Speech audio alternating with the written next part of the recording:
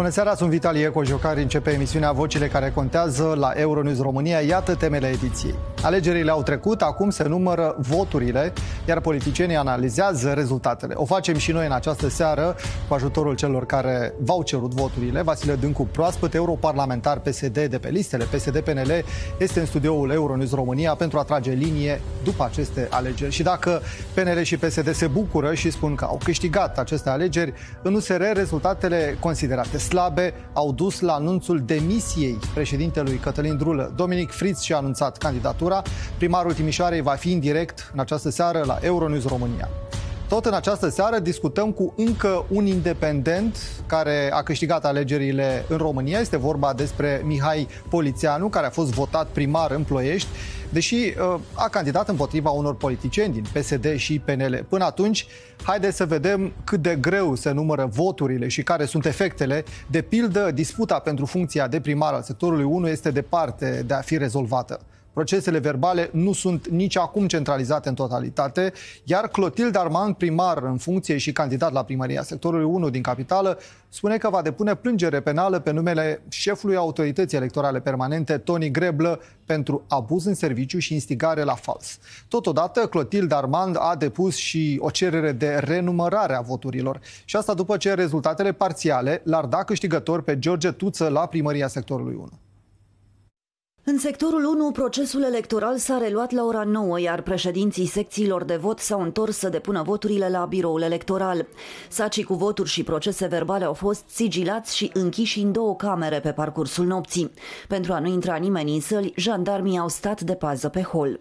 Jandarmii uh, iau în custodie aceste birouri electorale în momentul sigilării de către conducătorii acestora și le iau în pază până în momentul în care conducătorul acestora revine pentru desigilare.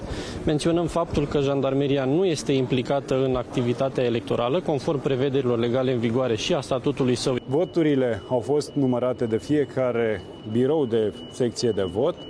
În reprezentanții noștri ne-au adus procesele verbale, noi am făcut centralizarea proceselor verbale pe care sunt semnăturilor tuturor reprezentanților de la toate partidele politice care au fost reprezentate acolo și în urma centralizării noastre am uh, câștigat această competiție.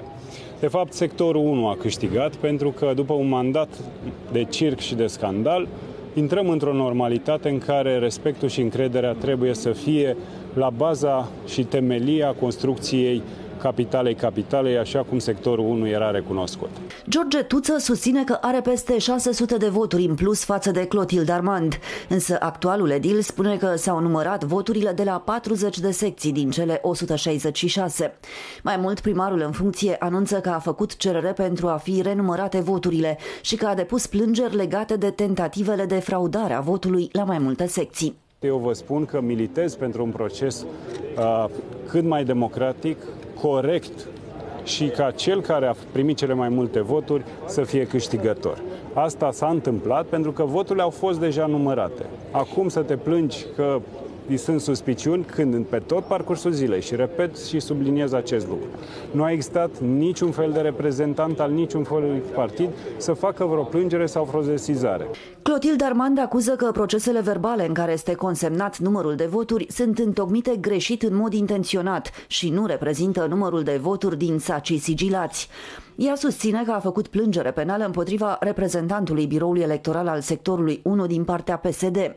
Edilul spune că bărbatul a fost prins pe holul unei secții și împreună cu mai mulți membri ai secției de votare ar fi desigilat sacii plini cu buletine de vot și ar fi umblat în ei.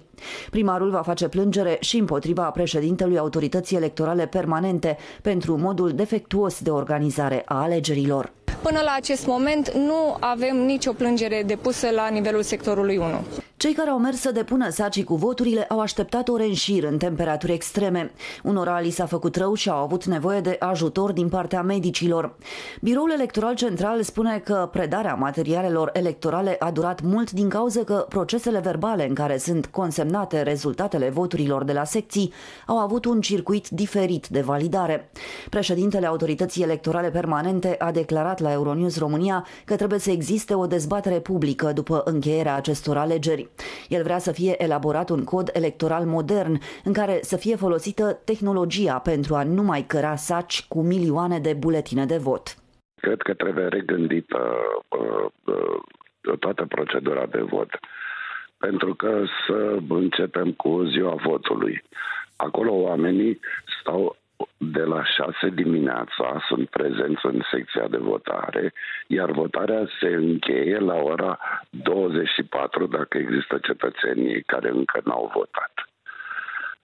Sunt 18 ore în care uh, 9 membri ai secției de votare împreună cu Uh, cei personalul de pază împreună cu operatorul și expertul electoral stau 18 ore acolo. După care începe numărarea voturilor, care diferă de la secție la secție. Este vorba de încă uh, ore bune de, de, de stat în secție. Uh, este inuman și pentru acești oameni și vă repet, este vorba de 20.000, aproximativ 20.000 de secții de votare în toată țara, înmulțiți cu 10, 11, 12 oameni care trebuie să stea acolo. Legislația prevede că aproximativ cu un an sau un an a alegerilor nu prea se poate modifica substanțial legislația electorală. Jumătate din populația României a votat pentru viitorii reprezentanți ai administrației locale.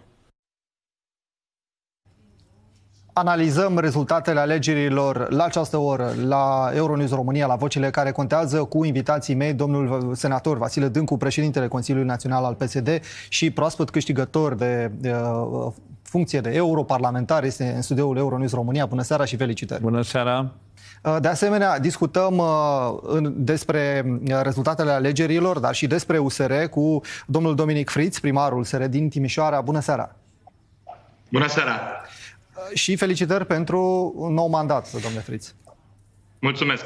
Aș vrea să încep cu dumneavoastră și să vă întreb uh, referitor la situația din USR. Uh, Am uh, văzut că dumneavoastră spuneți în felul următor și citez, propriul meu partid a luat un scor care nu se ridică la ambițiile noastre, în jur de 8%. Vă refereați probabil la alegerile europarlamentare.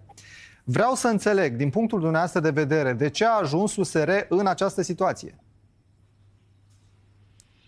Da, eu sper că o să discutăm și despre situația absolut alucinantă, nu doar în sectorul 1 și 2, ci și în restul țării cu numărătoarea voturilor, Discutăm dar vă răspund cu drag la întrebare. Da, da.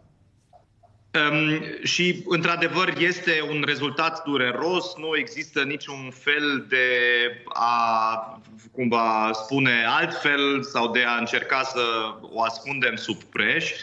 Um, și adevărul este că această strategie a comasării, deci uh, a, de a folosi biciul primarilor pentru uh, alegerile europarlamentare, acest lucru a funcționat. E clar că Alianța Dreaptă Unită, USR, nu are la fel de multă putere în teritoriu ca și PSD și PNL, care dețin o mare majoritate deja a primărilor Uh, și a Consiliilor Județene și uh, asta combinat cu un aproape un boicot uh, mediatic, cu siguranță a făcut ca Domnule condițiile primar, acestei campanii să fie dificile. Dar, Așa. în același timp, sunt sigur că și noi am făcut greșeli, sunt sigur că uh, sunt lucruri pe care ar fi trebuit să le facem altfel și tocmai de aceea avem nevoie acum de o analiză temeinică care nu se face uh, Uh, la televizor, ci într-un proces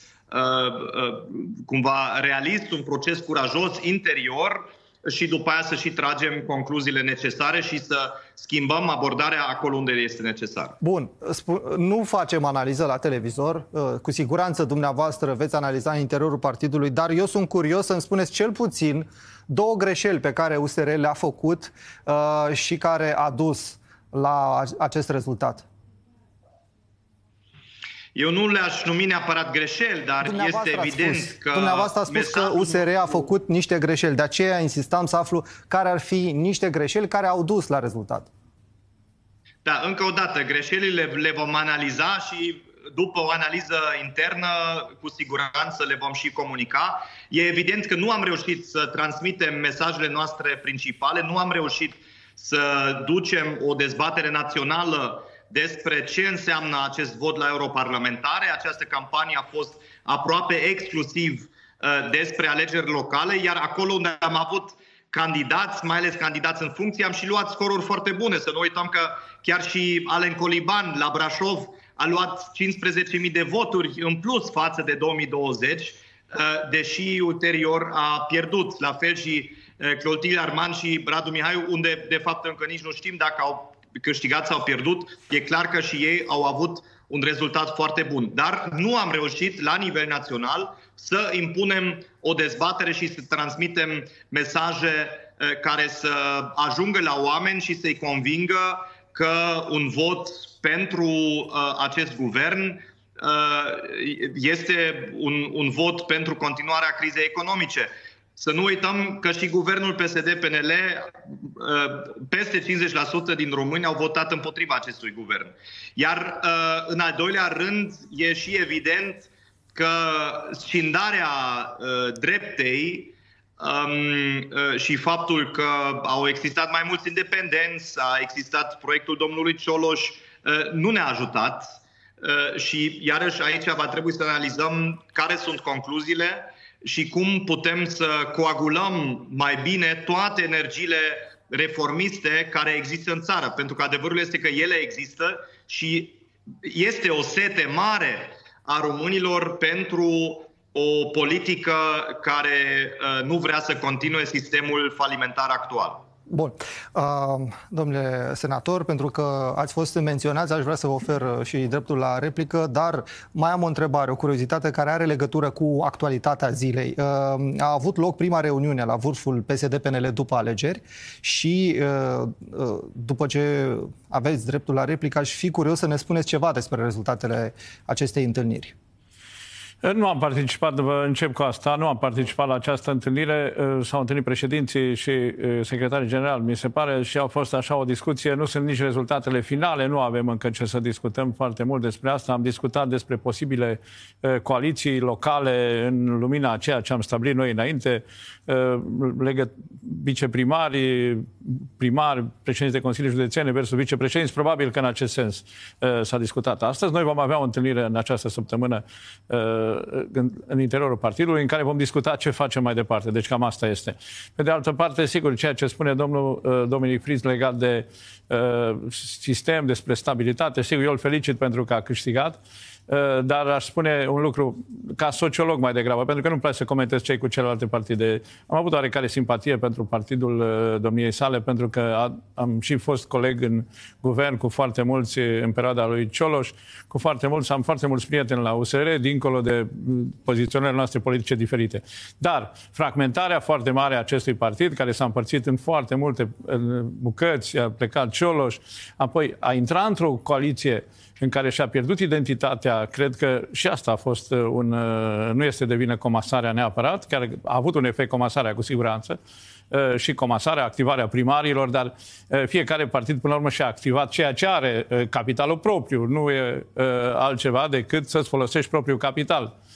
De aceea e curajos gestul domnului Drulă, dar modul în care văd că se încearcă revigorarea partidului prin primari care au câștigat pe uh, contribuția lor, nu pe contribuția partidului. Nu partidul a uh, ridicat în sus pe domnul Fritz, și propria contribuție, propriul program, uh, la fel nici uh, doamna Lasconi sau uh, alții. Uh, nu partidul i-a ridicat. De aceea, probabil că uh, atunci când refaci un partid, uh, când uh, pleacă o conducere, trebuie să cauți mecanismele care sunt cele mai bune de coeziune internă mai degrabă decât să-i luăm pe câștigătorii, punem în față și spunem că uite așa partidul a câștigat. Partidul trebuie să câștige în coeziune, nu neapărat în lider, pentru că acești lideri au existat oricum și vor exista în echipa de conducere și Aș vrea să vorbim un pic și despre rezultatele PSD și PNL. Uh, sunt peste așteptări sau v-ați așteptat la aceste rezultate? Uh, vreau să spun că sunt la partea de sus a așteptărilor noastre, partea optimistă, să spunem, a așteptărilor noastre. Gândeam că o să luăm 19 parlamentari maximum, ne așteptam la 17 minimum pentru Europarlament. Uh, vreau, credeam că o să luăm 23 de consilii județene am luat mai mult. 25, 25. La, o, la o numărare pe care o, o să arătăm de altfel și harta pe care am pregătit-o am pentru luat, asta. În timp ce Partidul Național Liberal a luat 12, dacă bine mă aduc aminte, am luat vreo 24 de uh, municipii reședințe de județ față de 12 a partenerilor noștri liberali. Uh, este o victorie a Partidului Social Democrat. Nu ne vine să sărbătorim, vreau să vă spun foarte sincer, pe mine mă îngrijorează când câștigi, pentru că atunci uh, ai foarte multe datorii față de ceilalți. Când pierzi, ai datorii față de tine și trebuie să te refaci pe tine, partidul, în interior, dar când pierzi, crește nivelul de așteptare. Uh-huh. Și uh, mai sunt alegeri și va trebui să performăm foarte repede, pentru că altfel uh, avem uh, partidele care se reformează, care se mișcă, care își vor reface programul. Iată, vedem harta acum, o vedeți și dumneavoastră. Asta se întâmplă acum în România. Sunt consiliile județene pe care le-a câștigat PSD, cu galben este PNL, 25 spuneam eu, Consilii Județene, la PNL mai puține decât în 2020 și 1, 2, 3, sper să nu greșesc, 4 ar fi la UDMR. 4, UDMR și-a păstrat cele 4. Da. Așadar, o, o întrebare și după aia aș vrea să revin la domnul primar, domnul Friț. Doamna Gabriela Firea merge la Strasburg, 1 și 2 de ce credeți că ați pierdut Bucureștiul? Uh, doamna Firea, cred că n-am vorbit cu dânsa astăzi, dar uh, sigur va merge și va prelua mandatul de deputat uh, european, cel puțin pentru o perioadă, dar așa a spus că va veni la Bruxelles sau la, și la Strasburg împreună cu noi. N-am auzit-o în public eu. Poate că a spus, dar eu nu am auzit-o în public. Este o informație pe care a anunțat-o în partid? Dar noi am auzit-o în partid. Am, l-am auzit și pe președintele partidului spunând acest lucru și el a vorbit cu, Asta așa este, în da. seara respectivă cu doamna Firea. Uh, doamna Firea a candidat pentru acest mandat și uh, probabil că va veni la Bruxelles.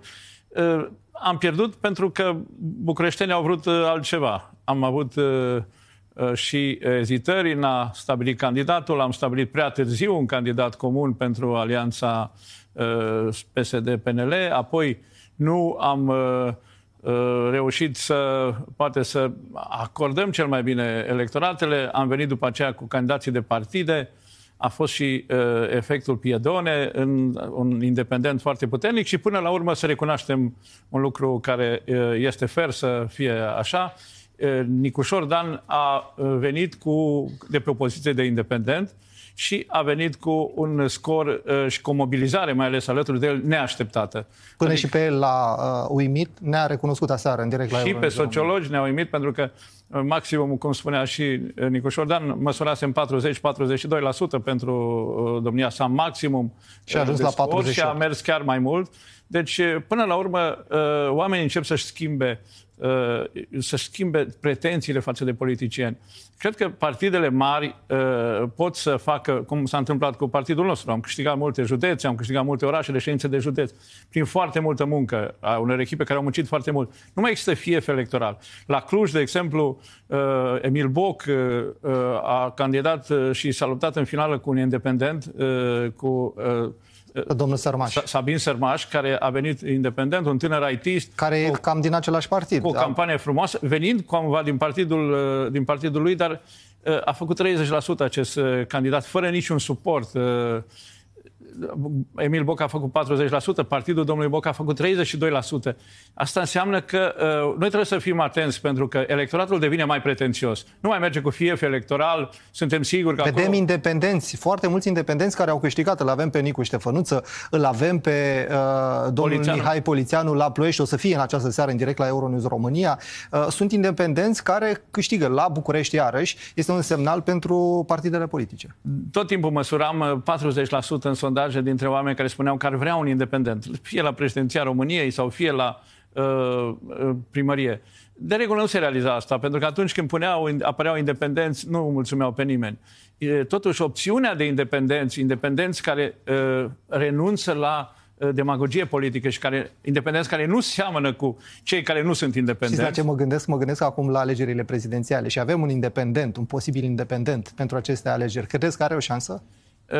Toată lumea are o șansă din cine participă. Va trebui să vedem însă ce se întâmplă când intră candidații marilor partide, pentru că și independentul Popescu Piedone la București se afla chiar peste Nicușor, dar la un moment dat, când au intrat cei din partide, deja lucrurile s-au schimbat. Nu mai putem să folosim aceeași formulă pentru România. România este diferită. Timișoara domnului Friț este diferită de Cluj, Clujul este diferit de Iași și uh, deja uh, România evoluează înspre o direcție a diversității. Și de aceea va trebui ca uh, și în interiorul partidelor și cele mai noi și cele mai vechi să uh, analizăm cu atenție ce s-a întâmplat la aceste alegeri și să tragem învățăminte, pentru da. că nu mai poți folosi aceeași formulă electorală. Da, aș vrea să mă întorc la domnul primar Dominic Fritz. Vă mulțumesc foarte mult că stați alături de noi și ne ascultați. Dacă aveți vreo reacție și vreți să comentați ceva, vă rog. Uh, pentru că aș... Da, eu cred că Um, apropo de această și și Cătălin Drulă în uh, anunțul lui de a se retrage din președinția USR a vorbit foarte scurt despre această cultură, să zicem, a independenților.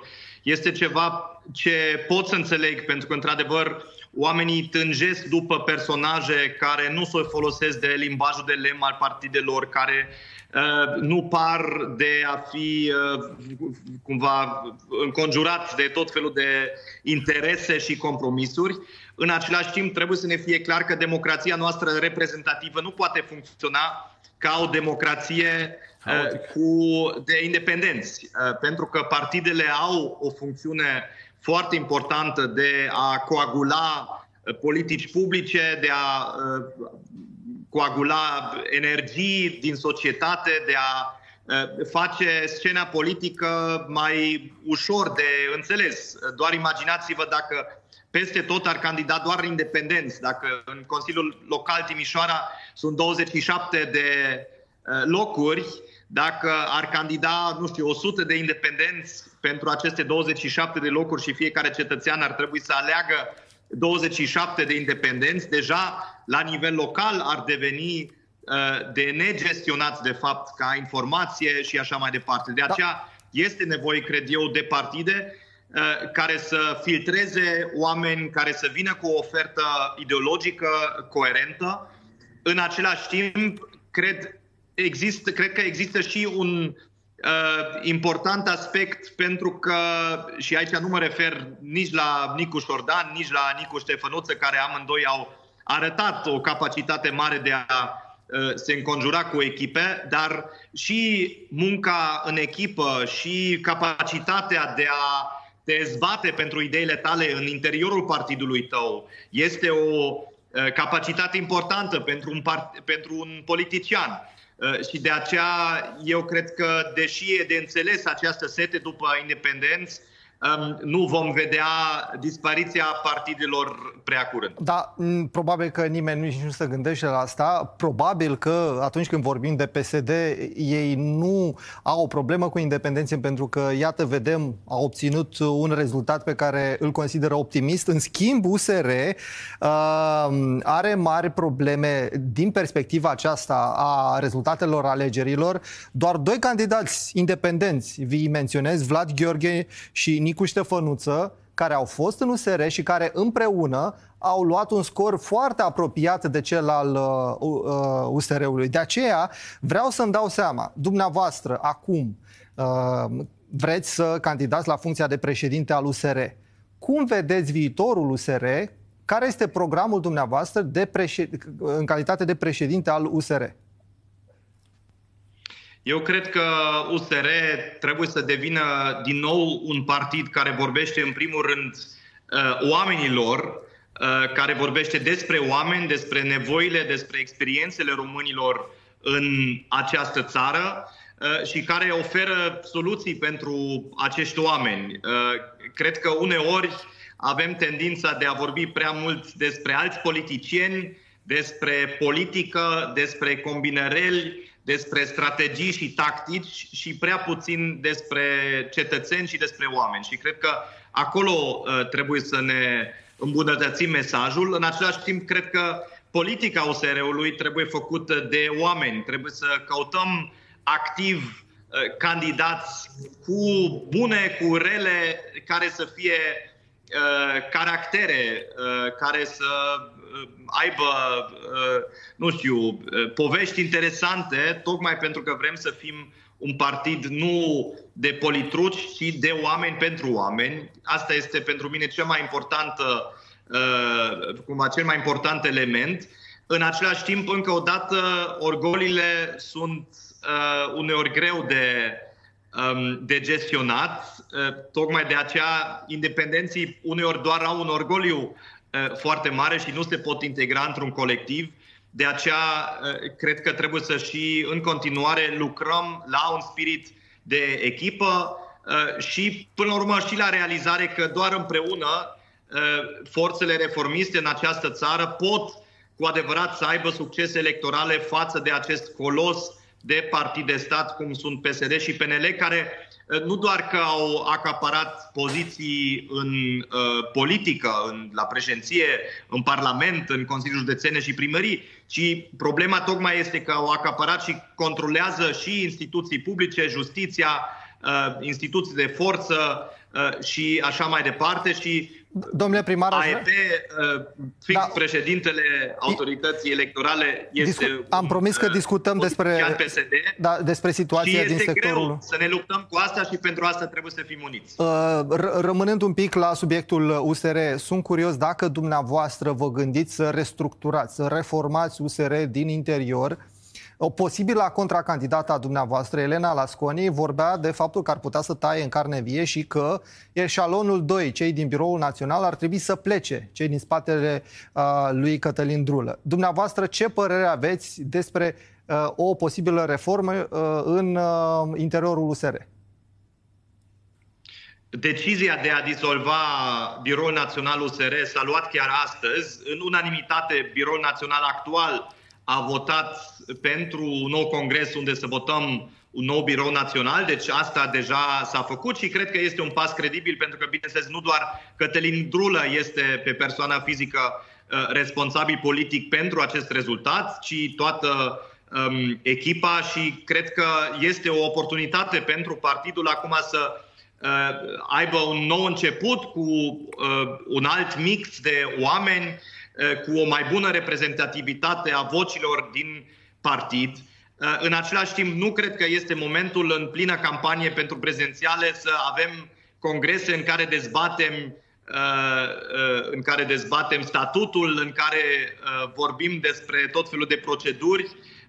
Deci nu, nu sunt pentru o reorganizare în care iarăși ne învârtim în jurul propriului nostru buric ci trebuie repede să clarificăm uh, chestiunile de leadership ca să ne putem concentra tocmai pe cetățeni. Nimeni nu vrea acum uh, șase luni de război civil în USR și să dezbatem dacă articolul 5 alineatul 7 uh, trebuie să aibă nu știu ce cuvânt, ci trebuie să repede să ne uh, realiniem, să ne reunim Uh, și să oferim soluții reale pentru problemele pe care le au românii, pentru că, încă o dată, țara este într-o situație foarte dificilă și votanții noștri, și avem un bazin mare de votanți, se așteaptă la un partid matur care oferă soluții. Da, și pentru că vorbim de prezidențiale, știm foarte bine, liderii partidelor trebuie să-și asume această luptă prezidențială. Dumneavoastră cereți acum și urmează să depuneți dosarul pentru cetățenie Uh, vă asumați să candidați la prezidențiale? Nu voi candida la prezidențiale și nici nu cred că ar fi potrivit. Tocmai am candidat pentru primărie și am uh, făcut timișorenilor o ofertă să continue încă patru ani acest mandat de primar și mi-au confirmat această ofertă și n-ar fi corect față de ei să spun acum Uh, v-am păcălit, de fapt visez să fac altceva și doar am avut nevoie de o victorie electorală ca să-mi credibilizez propria candidatură la prezidențiale. Deci nu asta este intenția mea și mai mult eu cred că acum USR are nevoie de cineva care poate să coaguleze toate forțele din partid, care poate să ofere uh, noi răspunsuri pentru români și care poate să susțină de fapt o candidatură credibilă la prezidențiale, fără cumva să fie propria carieră în, o scurtă, pe, pe prima pagină. Da, în aceste condiții, o scurtă curiozitate am. Veți conduce USR de la Timișoara? Credeți că este fezabil? Vă puteți împărți între cele două funcții, președinte USR și primar al Timișoarei? Știți, una dintre propunerile pe care le voi face uh, pentru USR va fi să luăm mult mai în serios Uh, obiectivul politic unei descentralizări acestei țări, pentru că eu sunt convins că multe probleme cu care ne confruntăm, și de cultură politică, și probleme de fond, uh, sunt de fapt cauzate de o centralizare excesivă pe care o vedem în România, o centralizare care este uh, încă o sechelă cumva a comunismului, cu siguranță nu ne face bine că Palatul Poporului e atât de mare, cu ziduri atât de groase, pentru că nu cred că așa se pot lua decizii bune pentru o țară întreagă, care este mult mai diversă decât pare din București. Doar un, un comentariu în noaptea alegerilor a fost absolut halucinant pentru noi care am urmărit rezultatele. Au fost exit poluri de la locale Uh, și tot ce s-a dat erau rezultate din cele șase sectoare din București, ca și cum localele uh, se rezumă la ce se întâmplă la București. Și asta a arătat care este, de fapt, viziunea asupra țării uh, la București și cred că e foarte important ca USR să ofere o alternativă la această centralizare, la această gândire bucureștocentrică, să zicem, și de aceea cred că poate ne face bine să avem un partid condus de un primar și un partid condus tocmai din un alt oraș important și nu din București. Da, să știți că noi la Euronews România am organizat dezbateri inclusiv despre soarta Timișoarei, despre uh, orașe importante din uh, România, Cluj, Iași și așa mai departe, Brașov, uh, tocmai pentru că este important. Uh, domnule senator, Uh, credeți că poate fi condus un partid uh, dintr-un oraș, din Timișoara, de exemplu, sau din alt oraș, din Cluj? Va trebui să ne obișnuim cu acest lucru. Prima dată s-a întâmplat când echipele de fotbal uh, din București nu au mai câștigat campionatul. Apoi a venit rugby, a venit volei și uh, au început ca țara să se descentralizeze. Am început cu sportul. Uh, nu e nicio problemă dacă campioana României de, la fotbal, cel mai iubit sport este din Cluj, din Timișoara sau din altă parte. Cred că și în politică se poate, cu mijloacele noastre de comunicare în acest moment, uh, cred că se poate. Uh, sunt de acord cu ce spune domn, domnul Dominic Fritz, mă lupt de vreo 15 ani și în propriul partid și când am fost la guvern cu descentralizarea, ideea de descentralizare și de regionalizare. Va trebui să începem să gândim Uh, diferit de, deocamdată. Noi, într-adevăr, uh, nu ne putem desprinde din aceast, acest centralism care este și în mintea noastră. Nu ne putem închipui altfel uh, România. București este foarte important, cu adevărat, dar așa cum sunt țări, cum este Germania, de exemplu, chiar dacă este un stat federal, dar care are ministere împărțite prin Germania, nu toate sunt la Berlin, este un exemplu extraordinar acesta și cred că și la noi s-ar putea face acest, acest lucru. Deci cred că va trebui să uh, gândim uh, următorul lucru pe care trebuie să-l facem. După acest an electoral, va trebui poate să uh, avem o speranță, una din proiectele, unul din proiectele noastre cu Partidul Național Liberal și o să încercăm printr-o dezbatere cu toate partidele să facem asta. Trebuie să schimbăm Constituția și să facem reforma statului, inclusiv reforma teritoriului, administrației teritoriale. Altfel, România va pierde continuu în viitor și sper să înțeleagă toți și cei care sunt din București și cei care uh, văd că soarele răsare numai de la București să înțeleagă că România este diversă și cu cât ducem uh, puterea mai mult spre, uh, reconstruim puterile locale, cu atâtea mai multe energii se nasc pentru România și pentru dezvoltare. Pentru că altfel ducem banii din uh, Timișoara, Cluj, Oradea, aducem la București, după aia întoarcem înapoi la consiliile județene pentru școală sau pentru sănătate sau pentru asistență socială, nu este fezabil să facem acest lucru. Trebuie să reconstruim puterile locale. Iată, în sectorul 1, Clotilde Armand reclamă că alegerile au fost profund viciate, cere din nou numărarea voturilor, ba mai mult anunță că depune o plângere penală la ICCJ împotriva lui Toni Greblă, președintele Autorității Electorale Permanente. Vedem și mai multe acuzații de fraudare a voturilor. Prin urmare, aș vrea să discut despre asta în cele ce urmează. Alături de mine în continuare este domnul senator Vasile Dâncu și domnul primar din Timișoara, Dominic Fritz. Domnule Fritz, vreau să vă întreb referitor la această situație din sectorul 1. Explicați-ne, dacă știți, dacă ați înțeles, care sunt fraudele care s-au produs acolo, de ce se cere o renumărare a voturilor. Deci, în primul rând, trebuie să spunem foarte clar că această situație nu este unică pentru București, pentru sectorul 1 sau 2. Peste tot în țară am avut și avem probleme cu procesul de vot. Și în Timișoara au fost oameni care au stat 40 de ore înainte să poată să întocmească procesele verbale finale cu voturile. Am avut oameni care au leșinat. Am avut uh, încă um, Uh, luni dimineața uh, am avut uh, secții de vot unde încă nu s-au numărat voturile și asta este un rezultat a organizării absolut haotice acestor alegeri. Este un rezultat al comasării, pentru că aici sunt două legislații paralele. Mulți președinți s-au retras în ultima secundă, știind cei experimentați, știind ce așteaptă și au fost cumva aduși oameni în ultima clipă care habar n-au cu ce se mănâncă și asta a dus la foarte, foarte mult haos peste tot. Um, și am Dar văzut mai, mai fraudare? multe ocazii în țară. Asta înseamnă fraudare, sau... domnule Friț? Da, imediat. Vă rog. Uh, pe, uh, pe fondul acestui haos, bineînțeles că asta deschide ușa pentru fraudare, Asta deschide ușa pentru greșeli făcute din oboseală, pentru că după 40 de ore, că am auzit că toate partidele au semnat procesul verbal, dar după 40 de ore să fii treaz, poate nu mai vezi că la Radu Mihaiu ai scris 44 de voturi și la linia de jos, la următorul candidat, 333, deși uh, numărătoarea a, a fost fix inversă. Uh, și, na, oamenii au semnat, obosiți, și acum vedem că, de fapt, raportul voturilor era invers și asta știm din numărătoarea paralelă pe care o avem. Și de aceea e atât de important să facem această renumărătoare și se întâmplă peste tot în țară. Avem primării care sunt câștigate pentru că s-au renumărat voturile. Avem un caz uh, unde chiar colegi de ai mei n-au intrat inițial în Consiliul Local, au lipsit două voturi, au cerut renumărare și au rezultat încă 30 de voturi în plus și acum au doi consilieri locali.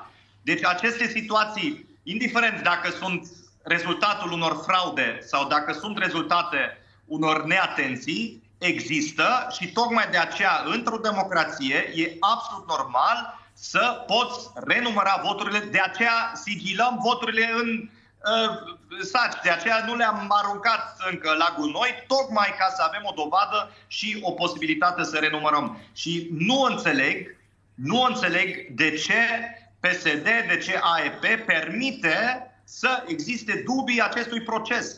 De ce nu este un consens democratic să spunem, da, trebuie renumărate Uh, voturile și în sector 1 și în sector 2. Îl întrebăm imediat pe domnul Dâncu, doar că am o uh, curiozitate.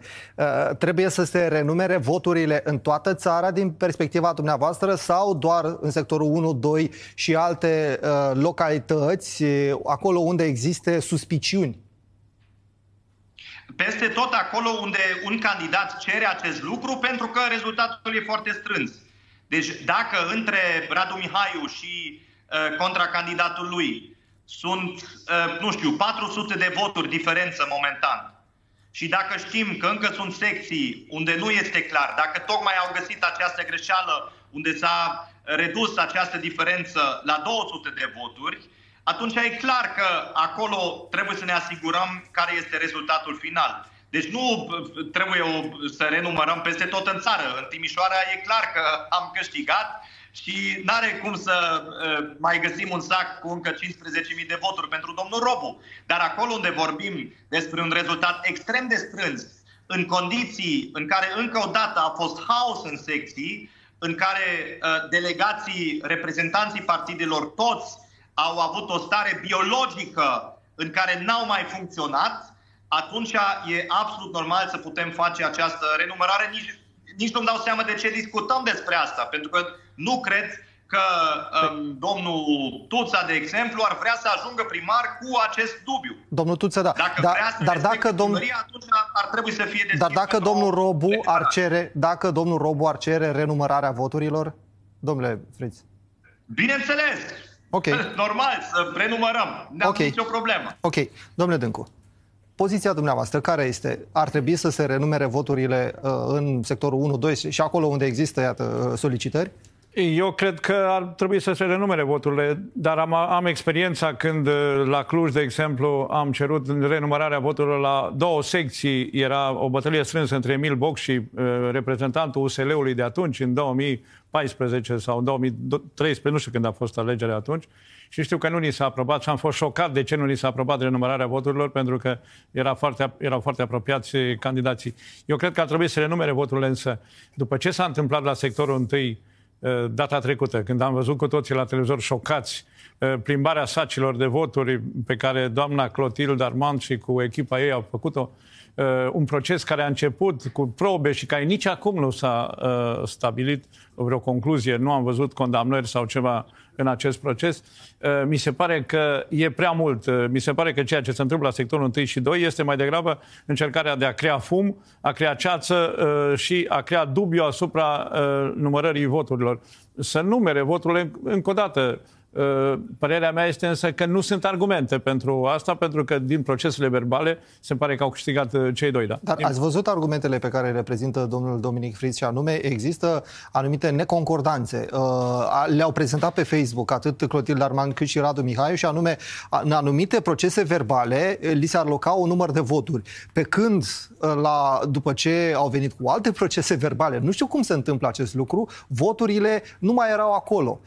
Și de aceea acesta este argumentul pe care îl aduc. Deci doamna Clotilde Almond a fost uh, uh, protejată de justiție data trecută, când uh, nu s-au nici renumărat voturile și a rămas uh, procesul electoral așa cum era, deși a fost un scandal imens care a decredibilizat democrația și alegerile în București. Uh, nu știu ce se va întâmpla acum. Eu, după părerea mea, ar trebui să renumere și probabil că se va stabili în justiția, poate să stabilească acest lucru, uh, dar uh, eu cred că trebuie să facem altceva. Trebuie că de acum încolo să nu se mai întâmple să-l umblăm cu saci de vot voturi, să ținem pe oameni, cum spunea și domnul Fritz, 40 de ore dimineața cu asta. Am putea să votăm pe o tabletă care să fie în, în zona cabinei de vot, s-ar uh, centraliza datele automat. Suntem în epoca blockchain-ului și noi uh, umblăm cu sacii de voturi după noi. Cred că trebuie să facem o reformă a întregului sistem de votare și am putea să votăm în momentul ăsta cu mijloace electronice, am putea să votăm de pe mobil, cum votează unele țări, uh, pentru că uh, oamenii ar trebui să aibă încredere în acest proces. Sigur că oamenii nu au încredere pentru că văd nebuniile astea, văd pe fiecare candidat care ajunge să uh, fie aproape de celălalt că dă în judecată, cere renumărarea, și asta decribilizează, evident, dar noi va trebui să facem cu curaj toate partidele să ne facem un pact electoral, domnule, haide, un pact politic și să stabilim că votăm cu mijloace electronice, pentru că nu se mai poate Dumneavoastră să sunteți de acord cu saci după noi. Sunteți de acord cu votul electronic? Cine nu este de acord? În, în PSD, că de, de acolo veniți Nu știu, n-am uh, discutat în momentul ăsta, dar o să discutăm probabil în viitor despre chestiunea asta, pentru că nu avantajează nici democrația, nici partidele, uh, acest circ pe care îl facem de fiecare dată uh, cu saci cu contestații, cu renumărări de voturi, uh, apoi uh, sunt aplicări neuniforme, de exemplu, a legislației. Uh, știu că la mine la Cluj am avut doi primari care nu au avut dreptul să candideze pentru o condamnare mai de demult, în care erau aveau cazierul curat, nu aveau interdise drepturile. În alte județe, același tip de candidat a fost acceptat. Adică trebuie să facem o dată să simplificăm și statul și acest uh, tip de legislație și cred că atunci scăpăm de aceste discuții, pentru că aceste discuții uh, duc în derizoriu democrația și slăbesc încrederea în statul român și asta da. este păcat. Uh, chiar acum doar am că... primit, uh, doar o clipă, domnule primar, da. pentru că vreau să dau această informație. Organizațiile membre ale coaliției Vot Corect uh, au transmis uh, în urmă cu foarte puțin timp că apar în spațiul public informații privind nereguli de natură să influențeze rezultatele finale citez exact, este important ca suspiciunile să fie înlăturate, stabilind corectitudinea rezultatelor prin mecanismele prevăzute de lege pentru aceste cazuri. Atenție sporită trebuie acordată modului în care se validează procesele verbale și se stabilesc rezultatele. Am citat exact dintr-un comunicat pe care societatea civilă l-a transmis referitor la această problemă. Mă întorc la domnul Dominic Fritz. Votul electronic, credeți că ar fi o soluție? Și vre- voiați să spuneți ceva, vă rog. Da, eu cred că este o soluție. Acum nu știu dacă suntem uh, deja acolo unde putem să votăm cu toții de acasă, de pe telefon, pentru că, într-adevăr, uh, atunci probabil încrederea în, în vot și în integritatea votului ar fi și mai scăzută, tocmai pentru că încă nu suntem o societate chiar atât de digitalizată, dar cred că trebuie să existe o posibilitate să votăm în secții de vot într-o formă electronică și sunt absolut de acord cu uh, uh, Vasile Dâncu că trebuie o reformă aici și o reformă transpartinică, dar există un mare dar. Uh, această dorință uh, nu corespunde cu realitatea de acum, pentru că trebuie să spunem foarte clar, sistemul de acum este un avantaj net tocmai pentru că partidele PSD și PNL care pot să facă foarte, foarte multe mișmașuri uh, cu acest sistem. Și uh, ce se întâmplă în sector 1 și sector 2 se întâmplă pe scară largă, în zona rurală. Um, știm povești din partea reprezentanților noștri în secții absolut alucinante, cu președinți care uh, Chiar în Timișoara s-a întâmplat zilele astea cu președinți de secții care de sâmbătă au cerut să se semneze procese verbale în alb. În Timișoara am avut o secție de vot unde sâmbătă toată lumea a semnat procesul verbal în alb, până afară de reprezentanta USR care a refuzat să semneze. Și atunci ne mirăm de ce apar procese verbale unde uh, cifra lângă numele nu corespunde cu numărul buletinelor. Uh, și asta se întâmplă la nivel rural uh, foarte, foarte des și de aceea ipoteza mea este, îmi cer scuze, dar ipoteza este că acest haos este un haos intenționat. Pentru că acolo unde este haos, acolo unde ai reprezentanți care au fost uh, treați de 40 de ore, acolo e mai ușor să mai scoți uh, două buletine uh, dintr-un teanc și să le pui pe un alt teanc și să numeri încă o dată și iese o altă cifră.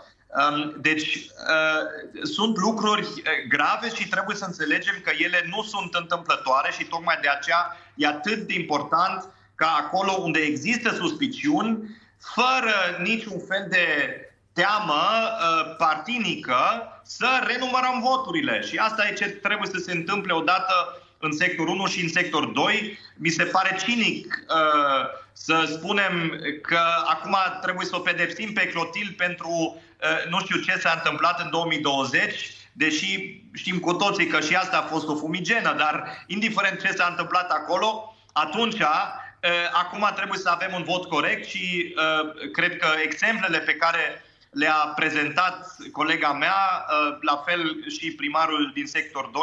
Sunt exemple atât de clare că, încă o dată, nimeni care crede în democrație nu poate să fie împotriva da. renumărării. Domnule, da, vă rog. O mică replică, nu mai vreau să-i spun uh, domnului Fritz.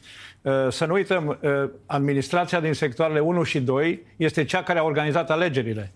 Deci... Nu este adevărat.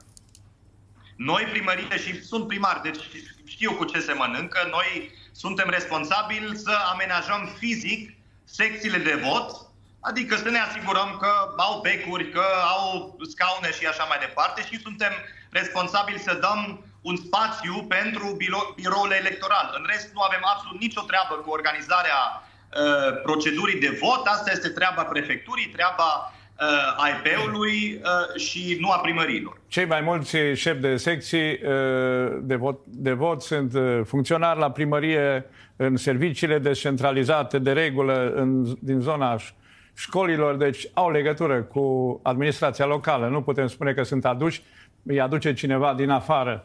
Deci și prefectura... Dar și nu sunt numiți de noi primari. Ei, nu sunt numiți, dar... de AIP. Nu sunt numiți, dar sunt uh, împinși în față de... Pentru că nu găsim alții în uh, Timișoara, de exemplu. De unde să aducem, uh, dacă nu din funcționarii publici aducem acolo? Deci să fim onești. Există aici, sigur că o co-participare și a primăriilor de sector în organizare. Aș vrea, aș vrea să vă întreb ceva, uh, domnule senator, pentru că acuzația care vine din partea domnului domnului Frix e foarte gravă. Până la urmă, alegerile sunt chintesența, sunt la baza democrației. Dacă nu avem alegeri și se organizează alegeri cu, uh, cu dorința vădită de a fi haos, uh, nu e bine pentru democrație. Credeți că asta se întâmplă? Asta s-a întâmplat? Sigur, asta este o aserțiune filozofică pe care domnul primar o face acum legat de haos organizat și de intenția de haos. N-are cum să demonstreze acest lucru, mai ales că uh, în alegerile în România au funcționat foarte bine acum. Nu, nu sunt, uh, sunt câteva exemple uh, din acest uh, haos electoral, să zicem, la București, în cele două sectoare. Sigur că, fiind mai multe buletine de vot, fiind două legislații, una lângă alta, au complicat un pic procesul de vot. Dar nimeni nu-și dorește ca să fie haos, pentru că uh, haosul nu poate fi controlat. Asta este mai degrabă un... Uh, Uh, așa un paradox să spui că haosul uh, organizează cineva ca să câștige din el. Când ești în administrație, uh, pierzi din credibilitate dacă nu ai, faci alegeri corecte, dacă nu există suspiciuni, dacă este haos. Deci nimeni nu-și permite să, să facă el un haos intenționat. Sigur că Atunci... când, când ești în opoziție, înțeleg, se pot face orice fel de afirmații, nu e nevoie să le demonstrezi întotdeauna. N-ați putea să-mi demonstrați că este un haos organizat de cele două partide care sunt la guvernare. Vă rog, domnule. Păi, dar nu, nu, nu sunt acuzații. E foarte ușor să le uh, contraziceți. Spuneți, spuneți colegului dumneavoastră de partid, președintele AEP, să uh, renumărăm voturile din sectorul 1 și 2. Adică aici nu sunt uh, acuzații sau Bun, nu e o, o întrebare retorică filozofică. Foarte ușor putem să asigurăm că acest proces de vot este integru prin renumărarea voturilor. Asta este o chestiune particulară cu care sunt de acord. Chestiunea generală cu haosul organizat pe care uh, domnul Vitalie Ciobanu ne-o punea în față, sigur că este una o acuzație gravă care nu poate fi susținută printr-un singur, uh, o singură decizie a EPului, că nu a acceptat să se Domnul Fritz spunea că este un haos uh, generalizat și uh, susținea că astfel sunt fraudate alegerile. Și de aceea vă întrebam, dumneavoastră, ca reprezentant de vază și marcant al PSD, dacă într-adevăr există așa ceva.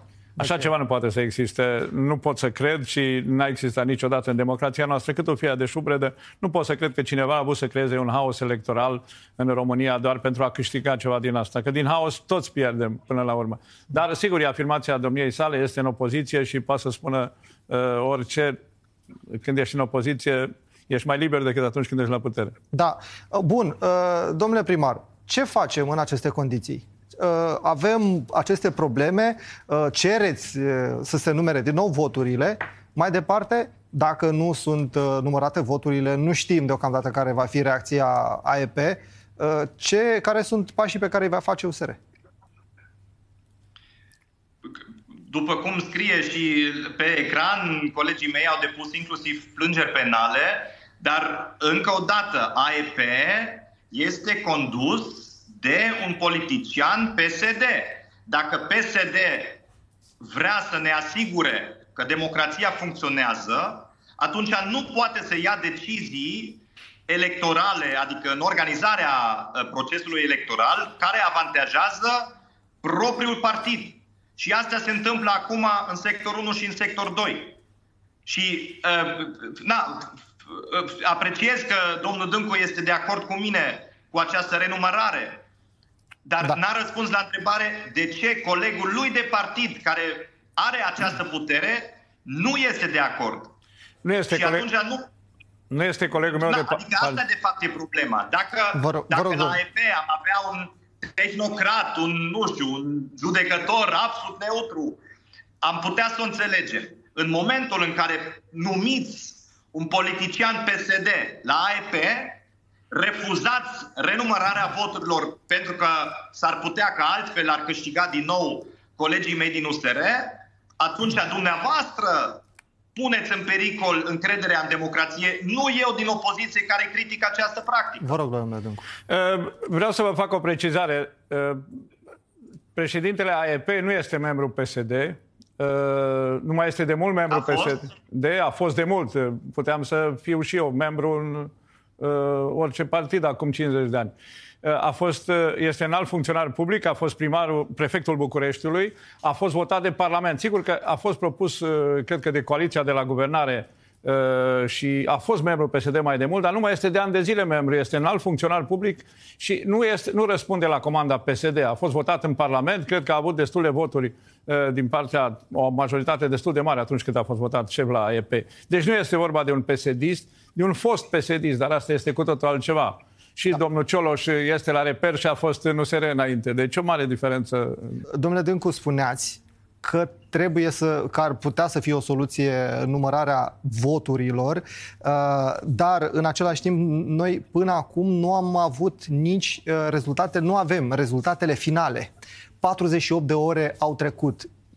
Cum vi se pare această situație să nu avem rezultatele finale ale uh, alegerilor? Da, mi se pare ciudat că uh, nu sunt rezultate finale. Pe de altă parte, mi se pare ciudat că au început plângeri penale și cereri de renumărare când nici n-am terminat numărătoarea.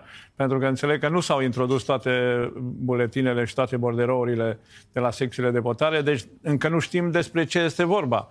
N-am văzut nicio decizie a EPU-ului, vă spun drept, nici n-am comentat foarte tare pentru că astăzi nu prea am avut uh, timp să mă uit la știri, și, dar n-am văzut o știre Uh, sau o declarație a președintelui AEB care să spună că nu acceptă renumărarea pentru că nu s-a terminat încă numărătoarea. Deci așteptăm să vedem ce se va întâmpla. Uh, nu este uh, normal și eu cred că va trebui să ne gândim să reformăm legislația cu privire la alegeri și ceea ce spuneam eu, astăzi pe tabletă facem cele mai multe lucruri. Cred că o tabletă în cabina de vot ar rezolva mult mai repede transmiterea directă într-o bază de date securizată a tuturor datelor și atunci nu ne-am mai chinui cu uh, saci și cu renumărarea voturilor în stilul acesta. Să sperăm că vom avea minte să schimbăm în viitor asta. Deocamdată nu avem date despre ce s-a întâmplat la sectorul 1 și 2, date oficiale. Să vedem, atunci pot fi contestate, probabil, se poate cere și renumărare.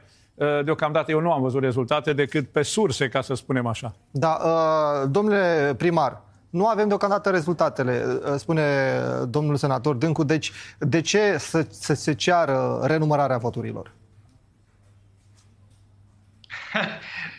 Pentru că deja la cele numărate oficial, adică la procesele verbale procesate, deja acolo apar probleme um, și acolo unde e evident că procesul verbal are o bubă, de exemplu, la un candidat nu-i trecut nicio cifră, unde măcar ar trebui să fie trecut 0-0 uh, dacă nu are niciun vot, deși asta e foarte improbabil. Um, uh, atunci e clar că ceva nu e în regulă. Dar faptul în sine că 48 de ore după și chiar fix acum la 10 facem 48 uh, de ore de când s-au închis urnele, faptul că încă nu avem rezultatele, uh, este un eșec colosal, este o rușine națională și eu aș vrea mai mult decât doar uh, strigăte să reformăm sistemul, să răspunde cineva pentru acest eșec.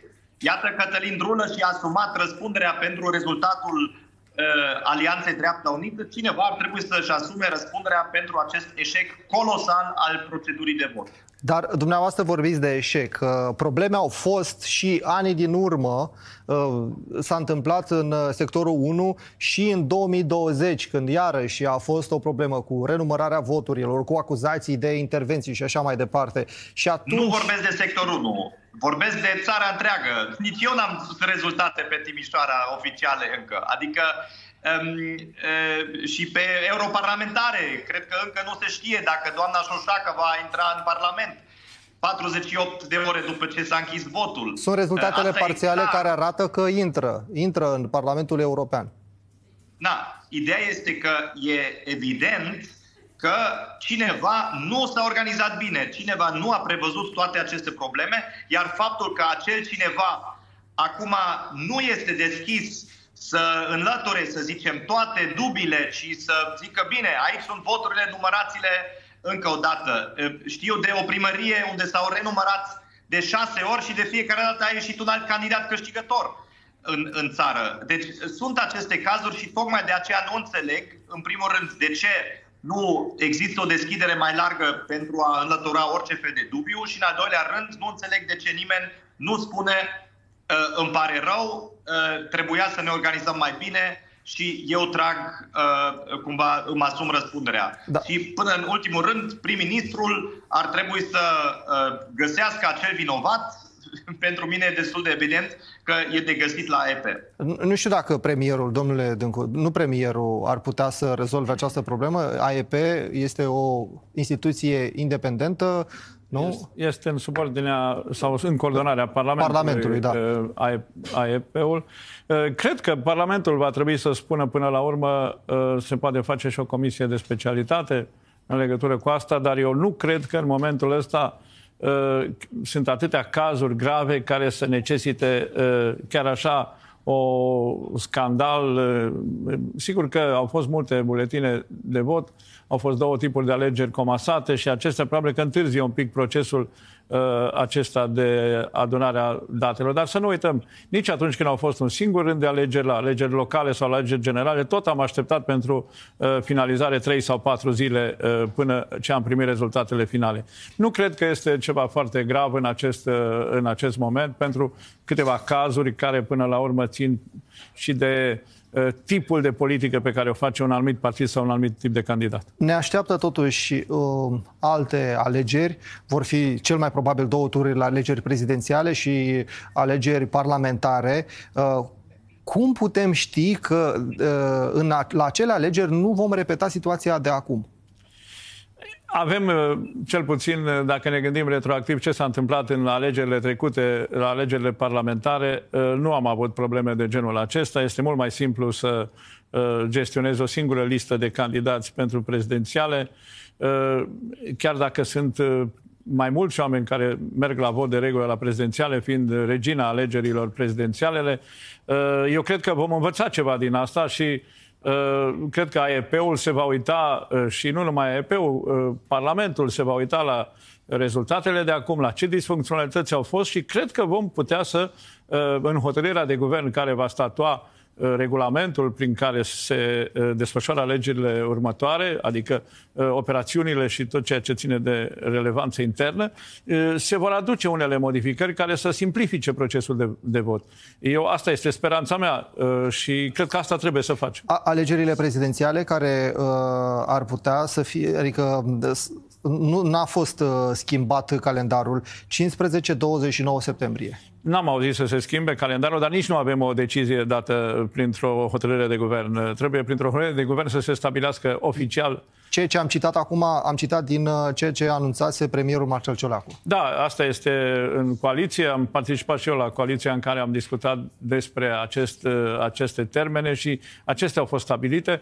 Acum uh, nu este încă oficial acest lucru, dar eu cred că vor rămâne așa. Asta s-a stabilit și credem că este uh, o decizie finală, dar vom vedea, încă nu suntem siguri. Și PSD uh, urmează să-și anunțe propriul candidat, iarăși aceasta a fost uh, anunțul pe care l-am auzit zilele acestea, de câteva ori chiar Marcel Ciolacu a menționat asta, dar vreau să știu când va fi stabilit cu siguranță că una, două săptămâni va trebui să existe și acel, acea hotărâre de guvern pentru alegerile prezidențiale și evident că vom finaliza și noi discuțiile din uh, coaliția PSD-PNL. Uh, vom stabili dacă avem candidat comun, dacă mergem... Nu veți avea. Domnul uh, Nicolae Ciuc a spus nu. Avem candidat, in, candidatul nostru, PNL cunoaștem prin noi înșine, sunt da, da. liberali da. întotdeauna, dar uh, uh, vom vedea. Noi oricum uh, suntem uh, hotărâți și am fost și câștigătorii acestor alegeri, uh, suntem obligați să avem un uh, candidat pentru alegerile prezidențiale. Este, până la urmă, ținta noastră politică cea mai importantă din acest an și credem că uh, este anul în care vom putea câștiga prezidenția. Și credeți că se menține coaliția, alianța PSD-PNL, dacă veți avea candidați diferiți? Cred că este posibil. Și acum am fost uh, candidaturi diferite în cele mai multe orașe din România. Am uh, pierdut primarii la uh, Uh, PNL, PNL a pierdut primari la PSD, uh, au fost uh, competiții puternice în țară între, Foarte puternice. între noi au ieșit și asta nu ne-a schimbat până la urmă hotărârea de a merge cu un proiect înainte. Credem că este important proiectul guvernamental, să nu rupem coaliția de guvernare, chiar dacă o luăm pe drumuri diferite din punct de vedere ideologic, suntem diferiți. Sigur că avem proiecte diferite, poate vom avea candidați diferiți, dar asta cred că nu ne convinge să stricăm această stabilitate majoritate pe care o avem în acest moment. Da. Uh, și aceeași întrebare și pentru dumneavoastră, domnule primar. Dacă uh, dumneavoastră nu candidați, atunci cine ar putea să fie candidatul USR în aceste condiții? USR acum are responsabilitatea să dea această țară o, un președinte de dreaptă. Pentru că domnul Dâncu e uh, modest când zice că cumva PSD a pierdut câțiva la PNL și invers. Adevărul este că PSD a cam nimicit PNL-ul. A luat, cred că, șapte um, consilii județene, primării importante și are o strategie extraordinar de bună. 25 de consilii județene față de 20 din 2020. Da, deci uh, doar în Timiș pot să știu că uh, PNL a executat propriul președinte în funcție uh, pentru a întinde covorul roșu pentru PSD la Caraș Severin, Suceava și în alte locații au, a câștigat PSD-ul. Deci PSD este extraordinar de abil în a distruge PNL-ul și PNL-ul este evident numai un partid nu mai este un partid de dreaptă și de aceea USR are o responsabilitate extraordinară să uh, dea un candidat care poate să intre în turul 2 și să se bată cu domnul Ciolacu, pentru că dacă PSD va avea toată puterea în stat, adică și președintele, și guvernul, uh, și Consiliul Județene și primării, uh, atunci știm foarte bine ce se întâmplă. Și tocmai de aceea, pentru mine, perioada următoare de a găsi acel candidat nu este o perioadă de orgolii, ci este o perioadă în care cu toții trebuie să dovedim materitate, acuitate strategică și să găsim acea persoană care poate să-l bată pe domnul Ciolacu. Iată, de la PSD în două săptămâni ar putea să apară un candidat, ar putea să fie decis cine este candidatul. Uh, la USR aveți un termen pentru că ați văzut ce s-a întâmplat în capitală, recunoaște și domnul Dâncu, uh, a lucrat timpul în, uh, împotriva candidatului PSD pentru funcția de primar al Bucureștiului. Deci, când va fi un candidat din partea USR? Noi acum avem alegeri pentru noul președinte al partidului, pentru noul birou național al partidului în luna iunie încă și în scurt timp uh, uh, după sunt sigur că vom veni cu o propunere pentru România uh, Mircea Joana ar putea să fie susținut de USR? Candidat independent. Domnul Dâncu acum ar spune că dacă eu spun că Mircea Joana este psd domnul Dâncu o să spună că e fost psd uh, dar uh, totuși domnul Joana este um, uh, un social-democrat și de aceea cred că șansele să fie candidatul dreptei Uh, sunt foarte, foarte mici. Și atunci, candidatul dreptei ar putea să fie din interiorul USR uh, sau o să încercați să-l recrutați din altă parte? Încă o dată, acum nu este vremea orgolilor sau uh, lupta siglelor de partid. Acum avem o responsabilitate să oferim României o șansă să aleagă un președinte de dreaptă. Bun. Uh, doamna Elena Lasconi? Tocmai a câștigat o primărie cu 70% sau peste 70%, deci știe să câștige, știe să coaguleze majorități și va avea o voce puternică în USR, va juca un rol important. În ce formă ă, asta se va traduce și într-o ofertă către electorat, vom vedea în următoarele săptămâni. Bun, uh, cu siguranță nu aveți cum să-mi spuneți un nume oricât de mult aș încerca. Era, era clar, am încercat doar să văd care este părerea dumneavoastră despre Elena Lascone, dar uh, vreau să știu cum vedeți dumneavoastră profilul președintelui României. Am avut de-a lungul timpului și președinte jucător și președinte de altfel. Deci, din perspectiva dumneavoastră, care ar trebui să fie profilul președintelui? Eh, știți că eu nu sunt vorbitor de limba română nativ eh, și de aceea Dar vă eu uneori folosesc bine. un cuvânt un cuvânt care cred că nu există în Dex, eh, cuvântul păsător, opusul cuvântului nepăsător. Eu cred că avem nevoie de un președinte păsător, un președinte care uh, vrea să se implice în societate, care știe să asculte, știe să comunice cu oamenii. Nu mai putem să stăm încă 10 ani cu cineva care merge în vacanțe și se ascunde la Cotroceni. Da, nu știu dacă mm, termenul implicat ar fi unul potrivit pentru ceea ce căutați dumneavoastră. Domnule Dâncu, un profil pentru un, da, un președinte care să-i pese, cum spune domnul uh, Fritz, uh, este definiția unui președinte de stânga. După 20 de ani de președinți de dreapta, cum bine spune domnul Fritz, care au jucat jocuri de noroc, uh, adică au jucat România la ruleta politicii, altul a fost plecat foarte mult în uh, excursii turistice. Este nevoie de un președinte care să îi asculte pe oameni, un președinte care să-i pese de viața oamenilor și care să comunice cu oamenii. O definiție perfectă pentru un președinte de stânga. Iată, aici avem uh, consens de la stânga la dreapta, este bine. Uh, și referitor la independenți, că tot vorbeam de independență astăzi, am văzut uh, uh există un fenomen. Uh, domnul Mircea Joană ar putea să creeze probleme pentru uh, un candidat din partea PSD, oricare ar fi acesta? Nu știm asta. Este uh, Mircea Geană, într-adevăr, uh, uh, este un personaj politic deja, o funcție importantă la NATO, are o carieră politică în spate.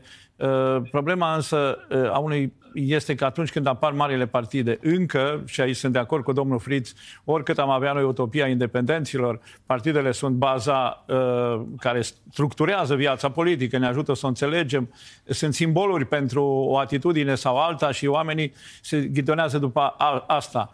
Uh, vom vedea ce se întâmplă. Poate va candida din partea unui partid, va avea un partid în spate, ar avea o șansă în plus. Uh, nu cred că nouă ne-ar face o problemă Mircea uh, Joana, dar o vom vedea asta atunci când vor fi cei doi candidați. După aceea vom măsura cu doi candidați, unul de la PSD, unul de la PNL, unul de la USR. Vom vedea, uh, atunci se va vedea bine ce forță are un independent. Până atunci nu putem să știm uh, nimic. Avem exemplu de la Capitală în care Piedone, fără să intre candidații din partidele social-democrat și uh, Partidul Național Liberal, Popescu Piedone era în vârf, după aceea când au intrat partidele s-a resetat scena uh, politică și uh, a ajuns uh, pe locul 3 Eh, nu știm ce se va întâmpla aici, eh, dar eh, va fi o, o, un concurs interesant, va fi, va fi o competiție interesantă la toamnă. Nu o putem prefigura încă până vom vedea care sunt candidați. O ultimă întrebare foarte scurt, pentru că nu mai avem timp, dar sunt curios uh,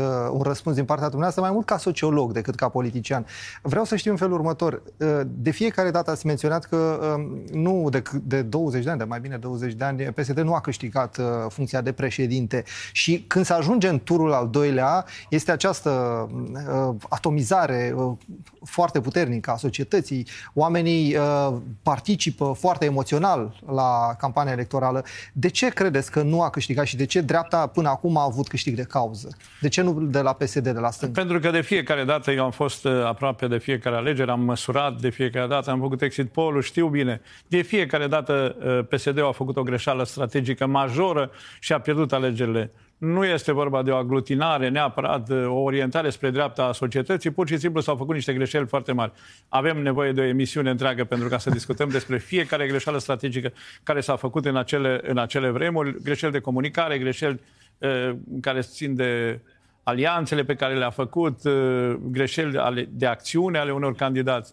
Deci, uh, poziționări greșite în turul 2 uh, sunt de fiecare dată s-a greșit. Nu o să mai greșim de data asta, de data asta câștigăm. Da, mulțumesc foarte mult uh, pentru prezența la emisiune. Vă mulțumesc și dumneavoastră, uh, domnule Dominic Fritz, uh, că ați fost prezent din Timișoara. Iată, se poate face politică și din Timișoara, să fiți prezent la o televiziune din București. Uh, cum s-au desfășurat aceste alegeri, dar mai ales cum au fost numărate pentru că asta e marea problemă. Uh, încercăm să ne lămurim în această seară. Alături de mine este Bogdan Ivanel, fondator și președinte Code for Romania. Bună seara! Bună seara! În primul rând vreau o concluzie mare, generală, sunt foarte curios să aflu, a acestor alegeri. Ce concluzie trageți voi după ce ați urmărit foarte multe uh, alegeri de-a lungul timpului? Iată, am avut aceste două tipuri de alegeri, europarlamentare și locale. Ce s-a întâmplat? Ce s-a întâmplat este că a fost o lipsă foarte mare de profesionalism din partea autorității electorale permanente și de transparență până la urmă. Sunt lucruri de care vorbeam și la începutul campaniei. Faptul că nu știam care sunt candidații, faptul că, de fapt, nu era un dialog adevărat între presă și autoritatea electorală permanentă, între societatea civilă și autoritatea electorală permanentă. Deja de patru rânduri de alegeri încoace, Code for Romania este singura entitate care aduce oamenilor în telefonul lor rezultatele alegerilor, ca să le poată înțelege în timp real. Și asta este foarte important pentru pentru democrație ca să putem să ne urmărim votul, ca să știm ce se întâmplă cu el. Uh, anul ăsta, în ciuda faptului că noi am încercat și am discutat cu autoritatea electorală permanentă în prealabil, datele care au început să vină după ora 10 au fost în niște formate inconsistente și care a trebuit un ONG cu voluntari să stea o noapte întreagă, să normalizeze datele alea, să curețe datele alea, ca undeva pe la 1 noapte am început să livrăm oamenilor și cetățenilor rezultatele din secțiile de votare. Uh, vreau să înțeleg asta, pentru că este foarte important, pentru că alegerile sunt importante, sunt, cum spuneam, la baza democrației. Uh, înainte de alegeri ați stabilit uh, o conlucrare cu AEP-ul, da? Prin care trebuiau să vă livreze niște cifre, nu? Mult spus, o colaborare. Dâns și livrează niște cifre oricum, dâns și livrează niște, niște date, numai că le livrează în niște formate care de multe ori sunt greu de procesat și niște formate care nu sunt, n-au o consistență. Adică e un alt format, de exemplu, la uh, Consiliul Județean, un alt format la uh, europarlamentare, de aia, de exemplu, europarlamentarele noi le-am procesat mult mai târziu. Și în momentul în care ai cinci rânduri de alegeri care se întâmplă în același timp și ai rezultate provizorii, ai rezultate uh, preliminare, ai rezultate finale și fiecare vin în alte formate, este foarte greu să faci o procesare automată. Și, de fapt, problema este că noi de fiecare dată, din lipsa transparenței și lipsa dialogului între autorități și noi... Ați avut un dialog înainte și l-ați tot menționat pe parcursul alegerilor. Am avut un dialog, am cerut să ni se spună care va fi, uh, care va fi formatul în care vor veni datele. Din Așa. păcate, formatul în care dat, parte din, în care au venit parte din date nu a fost același format cu cel care ni s-a prezentat. Noi am cerut mai multe, am cerut o linie de dialog continuă să avem un număr de telefon, să avem o persoană de contact cu care putem discuta în cazul în care apar problemele astea, în cazul în care la 11 noaptea observăm că sunt niște probleme. Nu am avut lucrul acesta și acum cerem cu subiect și predicat ca pentru alegerile prezidențiale și parlamentare să se constituie o linie de comunicare funcțională între noi și autoritatea electorală dar, permanentă. Dar când vorbiți de uh, livrare, de furnizare de date, uh, acest lucru se întâmpla în spațiul public, adică acele nu știu, tabele pe care oricine le poate vedea, acele le prelucrați dumneavoastră sau veneau alte date? Acelea le prelucrăm. Noi numai că ne ajută să știm în ce format vor veni tabelele alea înainte, ca noi să ne putem face mecanismele de procesare automată. Altfel, toată munca noastră e reactivă. Adică vedem și noi la ora 10 cum vin acele procese verbale, cum vin acele tabele, acele CSV-uri și ne facem sistemul în, în momentul acela. Adică avem zeci de voluntari, zeci de programatori care programează reactiv, în loc să o facă cu o săptămână, cu o zi, cu cinci săptămâni mai devreme, ca să știm că în momentul în care vin date, ele pot să ajungă și la cetățeni. Și asta este pur și simplu o lipsă de profesionalism. Nu aș spune că a fost în vreun fel cu intenție. Uh, și lipsa de profesionalism cred că este doar la vârful acestor instituții, pentru că altfel am întâlnit nenumărați oameni foarte buni profesioniști și foarte muncitori în toate aceste instituții ale statului. Uh, folosiți cuvinte destul de complicate pentru cineva care nu este familiar cu aceste informații și cu domeniul IT, CSV, uh, format. La ce vă referiți? Puteți să explicați? Sunt niște fișiere, niște okay. fișiere de date. Okay. Uh, acum o să plictisim publicul dacă explicăm toate tipurile de fișiere și faptul că au apărut și niște noi tipuri de fișiere care nu mai, uh, n-au mai fost până acum. Uh, ce... Și în aceste fișiere, ca niște tabele, sunt ce anume? Sunt rezultatele alegerilor. Pe fiecare secție în pe parte? Fiecare pe, fi... secție de, pe fiecare secție în parte, uh, rezultate provizorii, rezultate parțiale, rezultate finale. Și pe acelea noi trebuie să le procesăm ca oamenii să vadă în telefonul lor mobil uh, Uh, cu roșu, cu galben, cu albastru, cine a câștigat alegerile, procentele și să poată urmări în în direct da, aceste lucruri. Știți ce nu înțeleg? De ce nu face asta uh, autoritatea, statul român? De ce trebuie să facă niște uh, IT și niște voluntari? Pentru că nu o face statul român, pentru că statul român, după cum vedem, nici nu poate să transmită în acest moment niște date într-un mod consistent. Uh, noi am făcut aceste platforme, le avem și am spus-o de o mie de ori, avem mâna întinsă pentru a oferi acest ajutor gratuit statului român și este un lucru pe care îl cerem pentru prezidențiale și pentru parlamentare. Haideți să vă predăm aceste platforme, haideți să avem o colaborare, cum am avut și în timpul COVID în sprijinul statului român și în timpul crizei refugiaților și oferim această infrastructură și să avem o colaborare prin care se transmit datele acestea, punem și sigla EP acolo, uh, punem sigla Guvernului României și își asumă și ei acest punct de transparență. Și noi îi sprijinim absolut gratuit prin munca noastră. Cred că este un lucru foarte important pentru democrație. Data trecută vorbeam cum în Republica Moldova datele astea se văd în timp real, cum în atâtea în Estonia, țări se văd în timp real.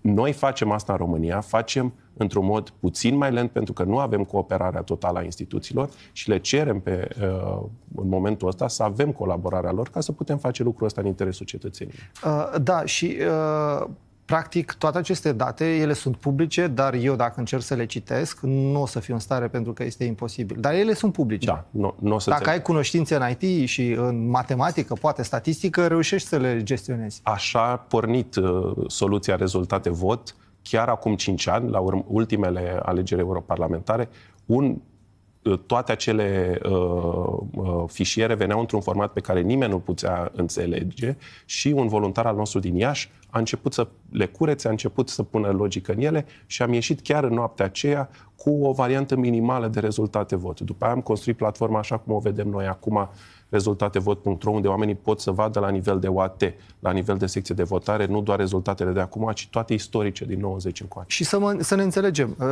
datele preliminare, uh, rezultatele preliminare pe care le, parțiale pe care le-am avut până acum, nu cele care au fost anunțate oficial în conferința de presă și am primit un, o hârtie sub formă de PDF, uh, că tot vorbeam da. de Uh, formate. Uh, toate aceste rezultate parțiale erau ale uh, Code for Romania în baza informațiilor venite de la AEP. Ce am transmis noi public? Da. Toate datele pe care toate noi le-am folosit Toate televiziunile, la... jurnaliștii, exact. site-uri, peste tot, toate aceste date erau de la dumneavoastră luate de la AEP. Da totul s-a întâmplat prin Code for Romania, inclusiv partidele politice. Am văzut politicieni care puneau print screen-uri de pe rezultate vot, pentru că e până la urmă singurul loc în care da, cineva fără cunoștințe dar dacă, de IT poate să înțeleagă. Dar, da, eu, eu stau și știi ce este paradoxal? Cineva rău intenționat poate să modifice aceste date și după aceea, și mai ales că dacă jurnaliștii le iau de bune, bine că există Code for Romania și are, avem încredere în cifrele da. pe care le dați, dar dacă există cineva rău intenționat și face asta, uh, la ce putem ajunge? De aia, uite, chiar mâine avem o conferință despre misinformation, despre dezinformare. Principalul mod în care putem combate dezinformarea este să informăm eficient și corect. Uh, de la instituțiile care pot să facă asta, de la jurnaliști. Și atunci este obligație cu atât mai mare a statului să vină și să arate acele date într-un format pe care oamenii îl înțeleg și în mod transparent. Și noi vrem să colaborăm cu ei pentru asta. Vrem mm-hmm. să le mhm. oferim tot suportul. Uh, ai să reușit vreodată să vorbiți până acum cu președintele AEP, domnul Toni Greblă? Nu cu domnul Toni Greblă, cu foștii președinți am discutat, dar cu domnul Toni Greblă De până ce nu ați vorbit cu Toni? Am încercat să Așa. discutăm până acum nu s-a putut. Am vorbit cu alți, alte persoane. Nu v-a, din... nu v-a primit în audiență sau uh, ce s-a întâmplat? Cerințele noastre întotdeauna au fost tehnice. Nu fetișizăm întâlnirea cu un lider de instituție sau nu. Noi am cerut întotdeauna oferiți-ne transparent, oferiți-ne predictibilitate, să știm cum vin fișierele acelea. Uh, și atitudinea a fost uh, în săptămâna asta mai mult una de aoleo, mai vin și ăștia de la Code for Romania pe capul nostru care, care ne cer lucrurile astea, o să facă request-uri în baza noastră de date, etc. A părut mai mult o oboseală pe care o aducem pe capul, pe capul dânșilor. Cum ați caracteriza, cum ați cataloga uh, această reacție sau replică sau colaborarea cu ei? suboptimă și eu am și o revoltă personală pentru că mi-am văzut colegii nedormind nopțile ca de fapt prin efortul lor și prin nopțile lor nedormite să suplinească lipsa de profesionalism și indolența unor instituții. Indolență, nu sunt cuvinte foarte tari? Nu cred. Nu. Uh, sunt curios dacă dumneavoastră puteți să ne explicați uh, ce, de ce vedem imaginile acestea cu saci da? cu oameni care, la fel ca și dumneavoastră, nu au dormit de 48 de ore și așteaptă să transmită niște saci în soare, unora li se face rău. De unde această dezorganizare sau Poate că această organizare. Bineînțeles, voturile exprimate pe hârtie trebuie să se centralizeze și ele și trebuie să ajungă la, la instituții. Uh, din nou, este vorba despre organizare. La fel cum noi am suferit din lipsa de organizare a autorității electorale permanente, în cum veneau fișierele electronice și lipsa de comunicare dintre noi și ei și lipsa de predictibilitate pe care ne-au oferit-o, la fel s-a întâmplat probabil și în relația cu, uh, cu restul alegerilor și cu președințile de secție de votare. Acum vorbeam de digitalizare. Știu că data trecută vorbeam de opțiunea de a avea vot online. Cred că suntem foarte departe în România de momentul okay. ăla, pentru că, uite, nu putem nici să avem niște standarde de date pe care le respectăm cu toții. Dar cred că un lucru trebuie să-l facem, trebuie să avem mai mult vot prin corespondență, voturi care pot porni înainte și care pot fi numărate mai repede. Nu vor românii, să fim sinceri. Nu foarte mulți, că au posibilitatea să voteze în corespondență. Câți au votat în corespondență? Nu la toate tipurile de alegeri. Ok. Nu la toate tipurile de alegeri și nici nu a fost comunicat acest tip de vot către, către populație. Și doi la mână, uh, votul electronic, adică niște mașinării de vot în cabinele, în cabinele de vot, așa cum ai în America, așa cum ai în multe locuri, care nu înlocuiesc votul pe hârtie, dar îl dublează astfel încât numărarea să se întâmple mai repede și votul pe hârtie doar să fie o cheie care verifică, verifică numărarea respectivă. Explicați-ne, uh, că uh, chiar astăzi am discutat uh, cu cei doi invitați, cu domnul Fritz de la Timișoara și domnul Vasile Dâncu, și susțineau că ar fi o soluție. Da? Cum ar arăta? Acum eu vin, am o hârtie, da?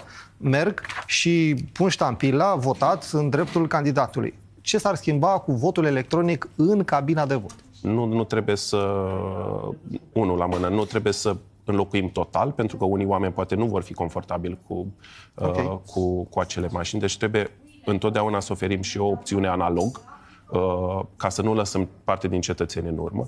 Dar avem modele în alte țări și nu trebuie să reinventăm noi roata. Am auzit mai devreme, vorbeam de tablete. Vorbeam... Există Uh, state care au uh, mașini de vot care au fost dovedite funcționale de... de mașini de vot. Ce înseamnă? Explicați-ne tehnica. Niște să mașini, un, un ecran pe da. care oricine poate să, uh, poate să-l utilizeze, în care selectează omul cu cine, cu cine votează, se scoate și o foaie de hârtie care se uh, pune și aceea în urna de vot, așa că ai două uh, Uh, două voturi care funcționează ca o cheie unul pentru altul. Unul, votul rămas în mașinărie și dovada votului care este pus în urnă și poate verifica votul respectiv. Este foarte simplu. Uh-huh. Și, uh... Sau invers, un, un vot pe hârtie care este procesat de o mașinărie. Uh-huh. Și varianta de vot prin telefon, cum am văzut, de exemplu, că se întâmplă în Estonia. Suntem departe de asta, dar uh, cu asta de ce nu sunteți de acord? Sau... Suntem foarte departe. Din păcate, este un exemplu care nu a funcționat nicăieri în afara Estoniei. Uh, și, cum spuneam și în emisiunea anterioară, trebuie să ne gândim întotdeauna când oferim o putere așa de mare unei instituții, aceea de a organiza total votul online, dacă avem sau nu încredere în instituția respectivă, pentru că îi dăm toată puterea din punctul ăsta de vedere. Și noi, în momentul de față, nu avem o instituție puternică, digitală, în România și nu avem un guvern și autorități care să înțeleagă modul de operare digitală. Uh-huh. Când vom ajunge acolo, când vom avea ceva similar cu US Digital Services sau cu gov.uk. Până și în Statele Unite au fost acuzații uh, de da. fraudare și au fost acuzații grave și s-a mers la nivel de acuzații da. de președinte. Dar uh, noi cum am putea să facem? ca să nu ajungem în situația asta și să avem încredere într-o instituție care se numește votul. Uh, să o luăm cu pași mici. Cum spuneam, avem variante alternative, avem uh, vot prin corespondență care poate fi extins, avem uh, vot electronic care poate fi folosit în diferite metode.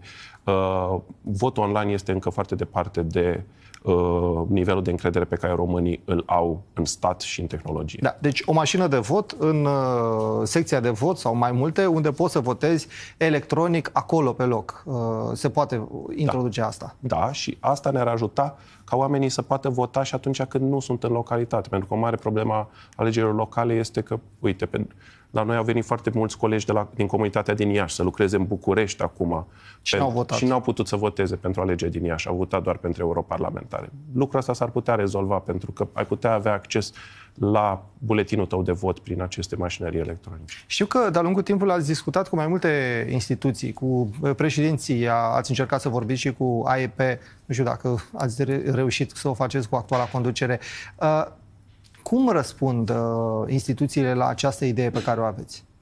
Uh, din nou, focusul nostru nu este doar digitalizarea alegerilor și infrastructura asta din jurul alegerilor, este în general digitalizarea României.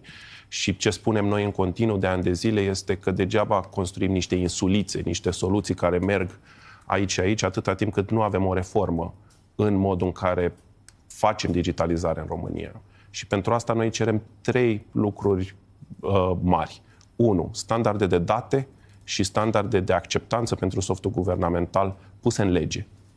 Și asta ne-ar fi rezolvat și mare parte din problemele pe care le-am avut noi în relația cu autoritatea electorală permanentă. Acele standarde trebuie să existe prin lege și să putem verifica dacă instituția le-a respectat sau nu. Așa există peste tot în lume. Doi la mână, o instituție puternică care să-și poată asuma digitalizarea în zona nemilitarizată a statului, în o zona instituție civilă. care ar, care ar fi? Noi avem o autoritate pentru digitalizarea Da. României, din păcate, o, inst- aceea este o instituție fără mare capacitate și La foarte Ministerul Digitalizării? Ministerul Digitalizării nu face digitalizarea. Ministerul Digitalizării are în subordine Autoritatea pentru Digitalizarea României. E nevoie de o instituție tehnică și, din nou, nu trebuie să inventăm noi roata. Noi am propus, am avut discuții cu prim-miniștri la rând în care le-am propus modelul US Digital Services, modelul gov.uk, uh, de funcționarea acestei instituții. Și ea trebuie să funcționeze nu într-un minister de sine stătător, care nu are autoritate asupra celorlalte ministere mamut, precum interne, muncă, finanțe, etc., ci direct în subordinea primului ministru, dacă ne dorim digitalizare, pentru că este nevoie de o forță politică executivă care să împingă această schimbare, care de multe ori vine contrar instinctelor acelor instituții. Până nu avem o persoană la cel mai înalt nivel executiv, primul ministru sau președintele, care să asume acest proiect pentru România și să aibă o instituție puternică și depolitizată, cu oameni puternici din punct de vedere tehnic, în subordine, lucrul acesta nu se va întâmpla. Și celălalt lucru pe care îl cerem este să nu reinventăm roata. Nici în România, nici în interiorul României. Să luăm lucrurile care au fost făcute deja și să nu le construim de 70 de ori, de 700 de ori. Să mergem pe un uh, principiu care se cheamă share and reuse. Dacă e nevoie de o registratură, de exemplu, cel mai de bază software din într-o instituție publică, care e la fel și într-o primărie și într-un spital și peste tot. Haideți să nu-l construim de 700 de ori, plătim de 700 de ori pentru el, plătim mentenanță de 700 de ori, ci statul român poate să-l construiască o dată, să-l utilizeze în toate instituțiile care au nevoie de asta. Acum, prin PNRR, facem digitalizarea spitalelor. Uh, sunt sute de milioane de euro care se îngroapă acolo pentru că fiecare spital, cu nevoi absolut identice, se digitalizează separat. Um, Eu vă ascult, dar uh, stăteam să mă gândesc că am auzit astăzi foarte multe explicații absolut paradoxale despre cum uh, oameni care se duceau cu acești saci da, la uh, biroul electoral și uh, procesele verbale pe care le aveau ei nu coincideau cu procesele verbale pe care le-au trimis deja. E celebra cheie care nu se închidea, prin urmare nu puteau să depună sacii respectiv și stăteau la fiecare secție de vot uh, ore întregi ca să rezolve aceste probleme. Se numără, nu se numără, se pune, nu se pune uh, cifre în plus. Chestia asta cum poate fi rezolvată? Asta e o chestiune de organizare. Din nou, noi nu prea avem capacitate administrativă în oricare instituție publică. Uh, Autoritatea pentru elect, uh, electorat permanent ar putea să facă o treabă mult mai bună în organizarea acestor alegeri și crearea condițiilor pentru de desfășurare. Uh, nu știu dacă ați fost vreodată într-o secție de vot toată perioada zilei, dar noi am construit și soluția monitorizare vot, prin care observatorii da. independenți transmit date și am avut curiozitatea să mă duc o dată de două ori să folosesc soluția și să stau în secția de vot de dimineața până noaptea. Și nu pot să descriu o tensiune uh, și o oboseală mai mare decât a oamenilor din secția de votare uh, la numărarea voturilor. Gândiți-vă că sunt oameni care sunt treji de la 4-5 dimineața, care au stat într-o zi foarte tensionată, și după aia sunt blocați împreună, de multe ori fără să poată fuma, uh, stând... uh, Să nu încurajăm viciile, dar înțeleg ce spuneți. Stând pe geam, cu, uh, cu nervi întinși la maxim și trebuind să numere acele voturi, de multe ori oameni de la partide diferite, care oricum nu se plac între ei, uh, și să, să trebuiască să ajungă să închidă cheia aceea. Uh, este foarte greu. E foarte mult oboseală la mijloc, condițiile sunt foarte precare în multe dintre secțiile astea uh, și atunci mulți dintre ei spun la un moment dat haide să o lăsăm cum am lăsat-o și să mergem la somn și putem să înțelegem și pe ei. Din punctul ăsta de vedere este o chestiune de organizare. Incredibil. A, ați fost, ați văzut asemenea situații? Da, da. În secțiile de vot. Da. Oameni care, bine, nu mai contează, numai să ne iasă. Da. E oboseală și e uman, e uman. Dar ce poate să facă autoritatea electorală permanentă este să organizeze niște uh, uh, alegerile mai bine, să creeze condiții pentru oamenii aceștia, să, uh, să-i, să-i țină cât mai odihniți posibil. Cum să-i țină odihniți dacă ei trebuie să stea de dimineață Exact. până seara? Cum? Creând niște time slot-uri pentru asta, creând uh, niște proceduri mai eficiente, uh, neobligându-i pe toți să stea acolo. De exemplu, eu am fost și am făcut munca asta într-o secție de votare în care se numărau voturile venite prin corespondență. Așa. Uh, și era, erau, cred, doar două secții care făceau asta, mii de voturi, care aveau o procedură și mai lungă, pentru că trebuia tăiat și plicul, trebuia... Și a fost pur și simplu o lipsă de planificare. Se puteau crea mai multe secții. Și atunci lucrurile mergeau mai repede. Oamenii ăia n-ar fi fost la fel de obosiți. Și pentru că aveți acest exercițiu și ați văzut din interior cum funcționează, astăzi discutam cu Dominic Fritz care acuza un haos și haos, într-adevăr, sunteți de acord că este. Dar acest haos a fost creat uh, intenționat de cineva sau pur și simplu lipsa de organizare românească, cea cu care ne-am obișnuit de-a lungul timpului? Eu nu sunt politician, nu pot să spun asemenea lucruri. Uh, din experiența mea, lucrând cu instituțiile publice din România la toate nivelurile, peste tot pe unde ne gândim că ar putea să fie rea voință sau corupție, merită să pariem pur și simplu pe lipsă de organizare. De cele mai multe ori este pur și simplu lipsă de organizare sau lipsă de știință sau lipsă de management. Cum spuneam, în cele mai multe instituții publice găsești oameni de toată isprava la baza piramidei. Oameni care lucrează și ei zi și noapte și încearcă să facă o treabă bună. La vârful instituțiilor este de cel mai multe problema și s-a discutat și mai devreme despre politizarea Așa. acestor instituții și modul în care ele sunt administrate. Adică la, v- la vârf există oameni care nu înțeleg cum funcționează instituția respectivă? Nu, oameni care nu sunt buni manageri. Oameni care, sunt, Care nu trebuie sunt să buni gestioneze și să... administratori. Sunt doar buni politicieni și au reușit să obțină acea funcție prin niște prietenii. Nu? Da. Uh, Dacă s-ar număra voturile, ce ar însemna asta pentru uh, rezultatele finale? Adică, Uh, Așteptăm și mai mult?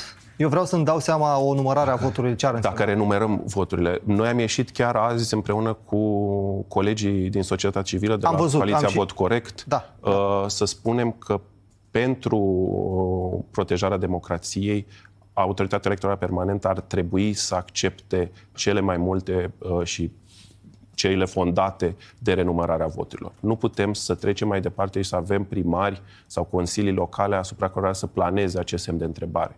Chiar dacă durează mai mult, democrația nu este cel mai ușor proces, nu este cel mai simplu proces, dar este nevoie ca acești oameni să aibă legitimitate uh-huh. și să avem încredere în sistem. Cum ar arăta uh, procesul de renumărare a voturilor? Ne ducem înapoi la acei saci. Luăm sacii și numărăm pe fiecare... Nu e prima oară când s-ar întâmpla chestiunea asta, s-a mai întâmplat, uh, s-a mai întâmplat în trecut, uh, poate în anumite secții de votare, poate în anumite locuri, chiar după alegerile prezidențiale, țin minte celebru Băsescu versus Joană, a mai trecut România prin procesul ăsta și cred că e unul sănătos. Și uh, s- s- dacă se numără, după aceea uh, se reface procesul verbal și se reintroduce în baza de date Clar. electronică sau ce are ROEP-ul și ulterior aflăm și noi rezultatele. Da, da. Iar asta ar însemna încă s- săptămâni sau Încă câteva zile, uh, încă o perioadă în care așteptăm rezultatele din anumite secții sau din anumite orașe. Adică să nu uităm că totuși suntem uh, la alegeri locale, lăsând la o parte europarlamentare, care alegeri locale nu înseamnă că dacă repetăm numărarea în anumite secții sau în anumite localități, uh, stau pe loc toate restul României. ne așteptăm la aceeași situație la alegerile prezidențiale sau parlamentare? Va fi mai simplu sau mai complicat? De aia noi cerem autorității electorale permanente să lucreze cu noi, să lucrăm împreună pentru a transparentiza aceste alegeri și să nu fie niciun semn de întrebare, ca aceste date să ajungă transparent în timp real către cetățeni. Noi suntem gata să facem lucrul ăsta și să construim împreună cu ei. Uh, În general, alegerile prezidențiale sunt cele mai simple alegeri din punct de vedere a numărării și din punct de vedere a datelor, mai ales turul 2, pentru că sunt două opțiuni pe buletinul de vot și există o circumscripție națională. Din punctul ăsta de vedere, Uh, nu este o scuză pentru modul în care s-au organizat alegerile, dar alegerile uh, locale sunt cele mai complexe alegeri. Da. Să știți, uh, o ultimă chestie trebuie să o spun. A venit acum recent, acum câteva momente, o decizie privind o respingere a cererii de renumărare a voturilor în anumite secții de votare. A fost formulată această cerere de Ștefănuță Nicolae Bogdanele. E vorba de Nicu Ștefănuță, candidat independent la alegerile pentru Parlamentul European. Iată o decizie de respingere convingere. Vedem ce se va întâmpla cu celelalte cereri care vin de la candidații uh, electorali, dar asta deja mâine. Uh, punem punct emisiunii și mulțumesc uh, lui Bogdan Ivanel pentru prezență și pentru explicațiile despre cum funcționează sistemul electoral din România.